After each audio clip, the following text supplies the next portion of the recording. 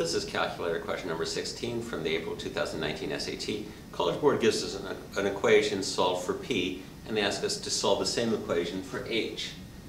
You will often, in fact, always get a question where they give you an equation and say solve for a different variable, and this is your basic Algebra 1, Algebra 2 skills. P equals P0 plus, the curve VP is called rho, it's a Greek letter.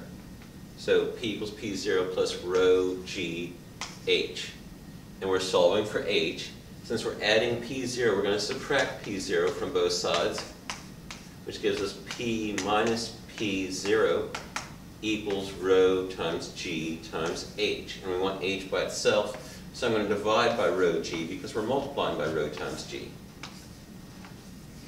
And that gives us h by itself on the right because rho times g over rho times g is 1 equals p minus p0 over rho times g on the left. And that matches choice B.